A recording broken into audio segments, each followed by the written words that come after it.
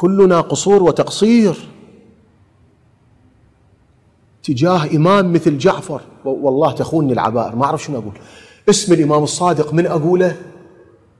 يعني أشعر به بفضل عاجز عن عن عن بيانه. يعني الصادق يحتاج إلى لسان كلسان الصادق حتى يقدر يوصفه. ما يعني شوف أقول لكم كلمة أخيرة. والله ما ترك الإمام حجرا في الدنيا إلا ووضع تحته علما. هاي كلمة أخيرة فلا هذا أقولها ولإثباتها وقت آخر. الله أكبر شنو من تراث؟ الله أكبر. شنو من عظمة هذا جعفر الصادق؟ ملأ الدنيا علما. بس الناس ما منصفة. أخذوا من منه كل شيء ولم ينسبوه إليه بل نسبوه إلى أنفسهم. إنصاف ماكو أمانة علمية ماكو. أمانة علمية ماكو. بس يبقى الشمس تحجب بغربال؟ ما تحجب الشمس. ما تحجب الشمس. جعفر الصادق تحجب آخرهم قال لولا السنتان لهلك النعمان وأولهم قال لولا علي لهلك.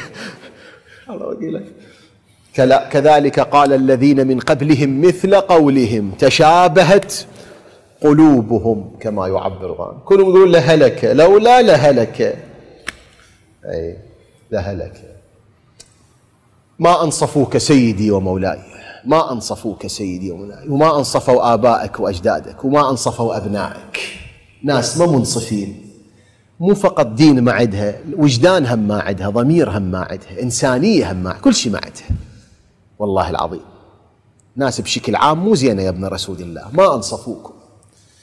وإلا أنت أنطيتهم علم فأعطوك الظلم والأذية. إمام عظيم مثل جعفر الصادق يحرقون بيته بالله عليكم ويخلوه بشيبته يطفي النار بعبايته ورجليه. ما تستحون ما تخجلون عار عليكم. بعد شهادة النبي بدل ما يجون للزهراء عظم الله لك الأجر يحرقون بابها ما يستحون. وبت نبيهم ورا الباب. خجل ماكو. هذا المعنى أبو علي قال يوم العاشر إن لم يكن لكم دين أنتم ما عندكم دين وكنتم لا تخاف كونوا أحرارا على الأقل. مستحى همعتهم مرة أبوها البارحة أبوها سيد الخلق ميت عنده بس هي يحرقون بابه ما يستحون.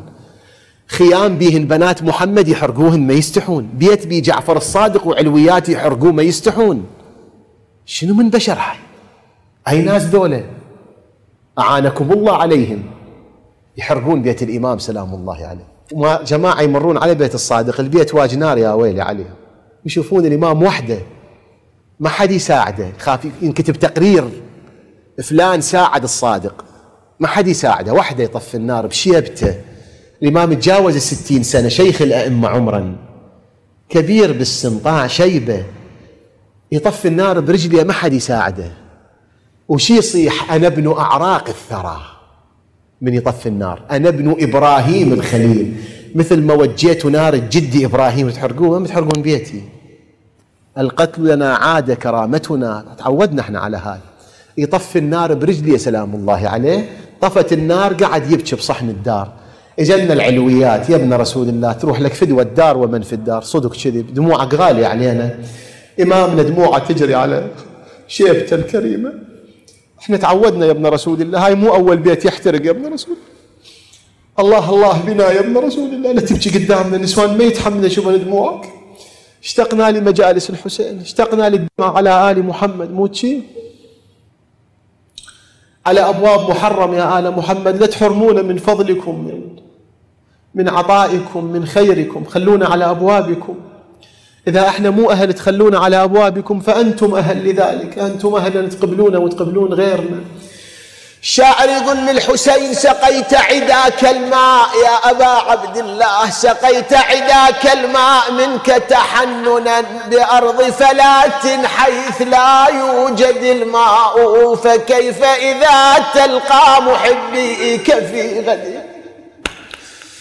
عطاشا من الأجداد في دهشة جاءوا في دهشة جاءوا. سيدي لا تصير دموعك قدامنا يا جعفر ابن محمد قال ما بكيت على الدار.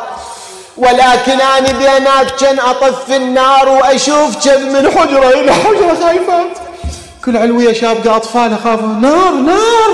يوم العاشر ناسنا يسوون تشادي. شايف الخيمة من تحترق الزلم شلون تشرد؟ بكيت عليك الآن تذكرت عماتي يوم عاشورا لما أحرقت الخيام على بنات الرسال والعلويات من خيمة إلى خيمة وإجن الزين العابدين. زينب قالها عم عليكم بالفرار. شرنا ابن مسلم يقول شفت امرأة واقفة بباب الخيمة أخذت النار بهديالي عبادي. يا ويلي.